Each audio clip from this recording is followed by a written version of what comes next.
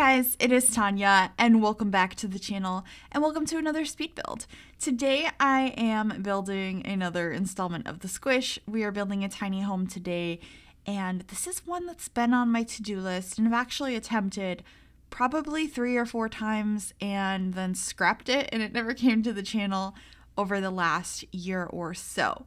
So we have this 20 by 20 lot. This is Ward Park in Del Sol Valley. And I've always been not sure what I want to do with this space. I guess you could make it into a small park, but it just seems like out of place in the middle of Del Sol Valley. So I had the idea that maybe we could make some kind of sculptural tiny house. So it's a tiny house, but it really looks like an art piece in the middle of this city. I was thinking maybe a rich architect just wanted to build himself or themselves a home in the middle of Del Sol Valley, and that was kind of the idea. Uh, so I mentioned I have tried this a couple different times and scrapped it. I've probably made the same concept at least three or four times, uh, but I decided to give it another go a week or so ago while I was streaming over on Twitch. So you might recognize this if you were in my Twitch stream, and if you want to see the whole process, because there's a ton of footage that was cut out of this, I will have a link down below to the stream re upload over on my second channel.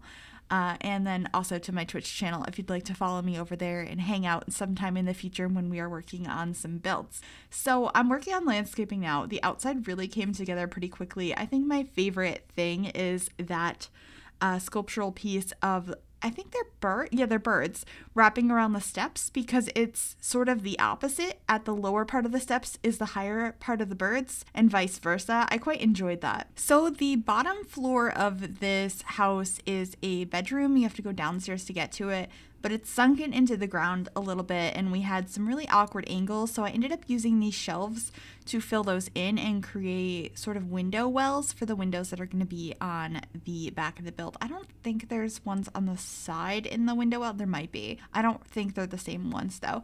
And then I've been working with some different pavements outside to make it really this centerpiece in the middle of this area. It's really supposed to look like a sculpture. I don't know if I achieved that. I still think it looks like a tiny house, but I had a lot of fun with this concept and I probably never would have built something that looked like this and had all of these different sculptural pieces on the outside if I wasn't going for that specific concept, if that makes sense. I did move the ladder around quite a few times on the inside though because I couldn't figure out where I wanted to have the floor plan going and then I had the ladder in a place that didn't work so your Sims actually couldn't use it and it was a whole thing uh, because this is a very scrunched space. this is so squished.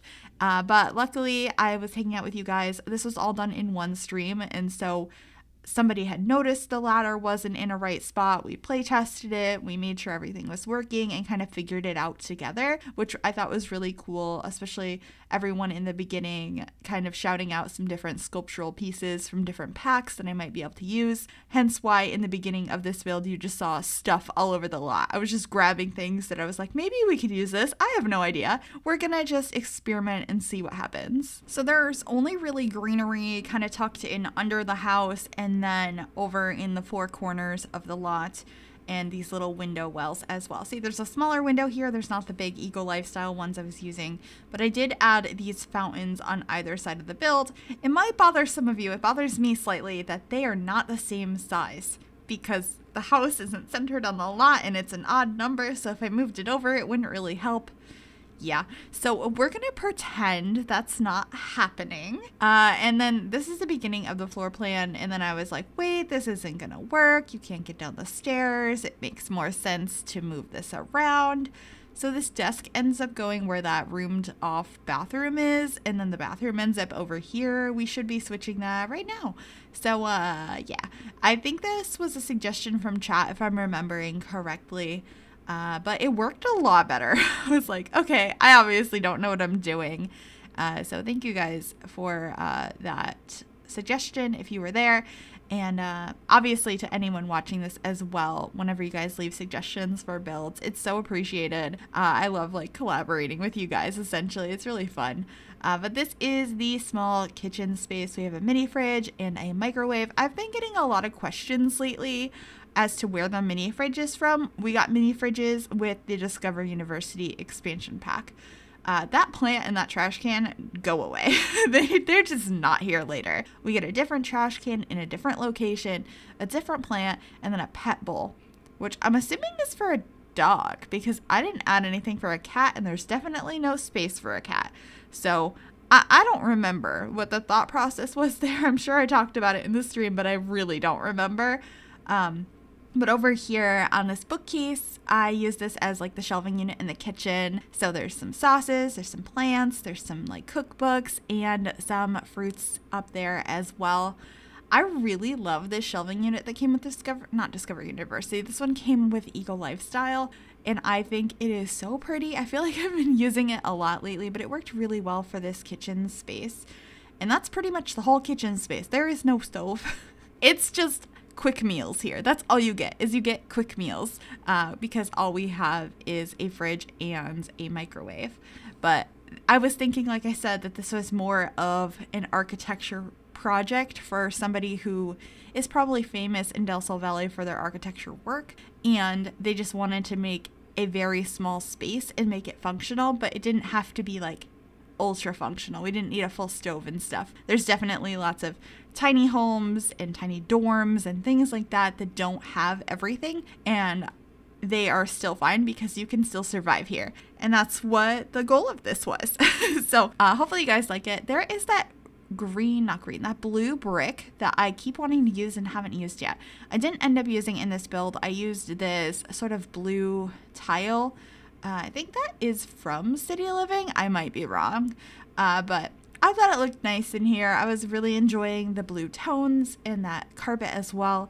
And then this is the bathroom. It just has a toilet and a shower. You're gonna have to use the sink in the kitchen. So it's pretty squished, but I think we're used to that here on the channel. I do that kind of often. You can definitely fit all three into this space. You can fit all three into just a single tile as long as you're using the university shower. But I personally don't like the way that looks. I think it looks a little bit too squish, and I know this is the squish, but uh, I just don't like the way it looks. So I didn't do that, but you can just walk over to the sink in the kitchen. It's not too big of a deal. And then I added that mirror from uh, Jungle Adventure. That's my favorite mirror in the game. I always say that. I can't wait until say someday maybe they give us some more simple modern mirrors like that that are leaning against the wall instead of being mounted on the wall because that would just be fantastic. Uh, but this is the bedroom downstairs. It is pretty much only using tiny living with the exception of the bedside table and a couple of decorations. Uh, the bedside table is from Seasons.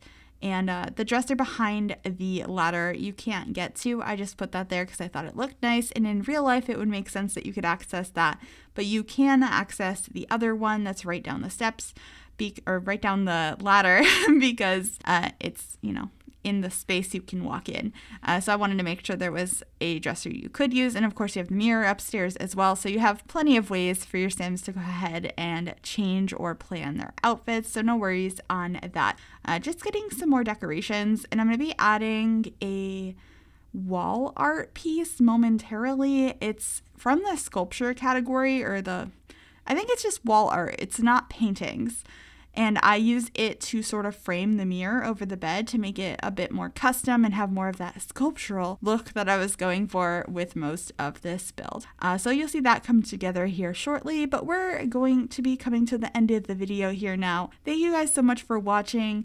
Uh, we're going to be heading on into screenshots. If you like this video though, if you could give it a big thumbs up, that would mean a lot. You can also subscribe to the channel if you have not already, and if you click that bell, it'll turn on notifications so you'll be notified of every single time I upload a new video. Also, if you would like to download this build, it is available on the Sims 4 gallery if you search my origin ID, which is Gryphi, or the hashtag MsGryphi, that will all also be linked in the description down below. Thanks again for watching, and I will see you all soon. Bye, guys!